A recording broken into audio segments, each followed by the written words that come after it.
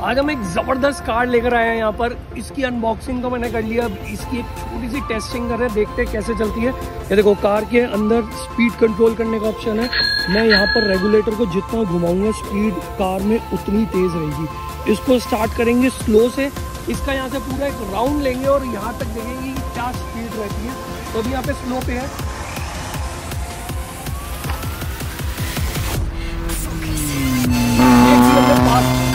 Control से बाहर हो चुकी है ओ ज़बरदस्त।